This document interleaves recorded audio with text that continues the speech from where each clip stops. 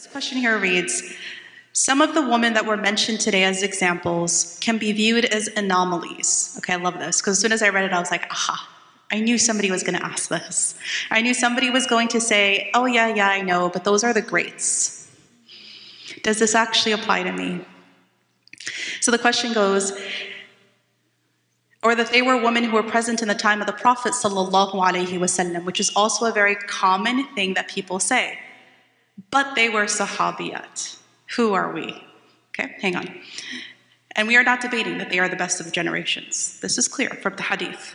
However, or, then it continues, or they were sahabiyat, yes, okay, you got that. Or they were so special and better in us, better than us, that they are at a different level that we will never reach.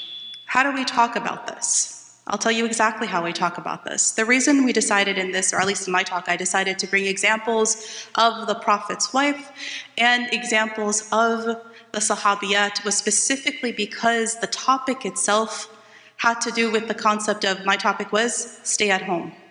Do women, shouldn't women stay at home? And I was giving examples because people are going to say, is there proof in the Prophet's era that women did more than stay at home? I said, well, who better than the very woman of the Prophet's era, sallallahu alaihi wasallam, and his very wives, ridwanullahi alayhin, to actually explain. But that does not mean that in all of Muslim history that there weren't so many examples. Sisters, you have to hear these stories and understand that there were so many of them, yani ubiquitous, to where these are not anomalies. They are not.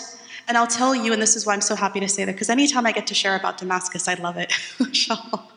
because for me, for me, I had to, the, the honor of being able to see this in real life people who are present. I don't know who was in the halaq on Friday night a couple weeks ago. I got so frustrated, it's not with the sisters, but with the questions that people ask about where are the female scholars? And I would explain and explain. And finally, I just said, you know what? I turned off my, my uh, green screen behind me, and there was my bookshelf, right? And I just pointed at my bookshelf. And I said, You see these shelves over here? You see these shelves behind me? There were rows and rows and rows of books. And I said, Every single one of these is a modern, currently living, or just recently deceased female scholar. You want fiqh, you want hadith, you want the qira'at of Quran, you want tajweed, you want sirah, you want it, it, everything. It's all right there on the shelf. And they were all women of Damascus in one place, one country. What if we added to it all the countries of the world? Fatabarakallah, what you said was so true. We may not know the women scholars, because sometimes they're the auntie who is in the community who you learn structural racism from, and nobody calls her doctor, ustada, blah, blah, with honorific titles. But she has more knowledge on that topic than anyone else. Right? And then what about all of our teachers that actually have knowledge and either we don't know them, simply, the gems, the hidden gems of our community, or they ha don't have a platform which is what Rahmah Foundation is a platform for all the women ustadas to speak from. A whole, they don't have a whole organization backing them or masajid opening their doors to them. Or that simply, we are so used to, just like the question about the Quran apps and listening to men who read the Quran, beautiful recitations. We're so accustomed to listening to a man reciting Quran, we've never even heard a woman recite Quran. SubhanAllah, right? And so let me just tell you this these are not anomalies. Back to the question. What I saw, subhanAllah, was a beautiful story of balance. A story of women who had, if Allah blessed them with a spouse, were married. And from those who were married, Allah blessed them with children, were mothers. But every single one of them, without exception, whether she was a wife or not, whether she was widowed or divorced, whether she was single or never married, whether she had children, 10 of them or one, they had one thing in common always they were dedicated to the knowledge of Islam. They learned their Islam. These women, it doesn't matter, the, the primary level was they all had memorized the Quran. Every single last one of them had ijazah and Quran. And then there are those who went further up and memorized the hadith. And eventually got ijazas in the, all the books of hadith. And those who became the 10 ashar qira'at of Quran right? And on and on and on, subhanAllah. And we're not talking in the ones or 10, 20s or 30s anomalies, we're talking in the hundreds. It was a whole movement, it was beautiful. It still is. These are currently living people, though they may not all be in Damascus today, make dua for Syria and all of the countries of the Muslim world and the world by extension.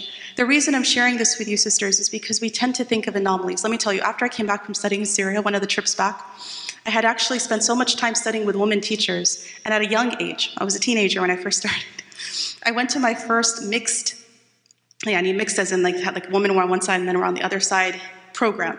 It was a month-long intensive deen program. And I was like, huh, this is interesting. they were all male teachers, actually quite a funny story. They were all male teachers. There wasn't a single woman teacher. And I'm like, yeah, I don't know. Anyway, I'd never really heard too many male teachers speak, whatever. So each one was getting up and giving his lecture. Each one was getting up, give his lecture. and after like a day's worth of this, this shows you how naive and kind of silly. I was still very young. I'm sitting in the front row. The problem is I'm sitting in the front row. and I listened to each of them, each of them, each of them. Okay, khalas, we have a whole day worth of male teachers speaking. Beautiful teachers, mashallah. And finally, I turned around to the sister sitting on this side of me and the sister sitting on this side, and I said, Huh, how strange. They're all men. and I said, You know, they're not so bad. They're just not as good as the women teachers. and the sisters sitting next to me will not forget the look on their faces. They looked at me like, What planet did you just come off of? that you know more women teachers and scholars that it's the weird anomaly that the male ones are speaking. And that was my reality. All of the women were teachers. All the women were, all the teachers that we had were women. Subhanallah. Scholars, scholars. Alhamdulillah, Allah allowed me to keep going back to Damascus. I did study with the men and the shuyukh as well of Damascus. Beautiful, mashallah. But something special about that. To where you can take a young kid and put her in a program and go, oh, strange, male teachers. Inshallah, right? Right? I had a friend, very similar, sorry, tangent here, but she had lived all her life overseas, and so her hockey team was all women, all girls in a Muslim country. When she moved to Canada, they went to their first like official hockey game. And so, you know, when you, when you have the mask on and you're, everyone's playing, you can't see if they're a male or a woman, a man, a man or a woman. And so eventually took their helmets off and she goes, oh, they're men. exact same reaction. It depends what you saw. It depends what you grew up with. It depends what you were able, Allah gave you the ability to see. Sisters, these examples are not anomalies. They are more ubiquitous than we think, and they absolutely can and should and will be you and your daughters, inshallah ta'ala.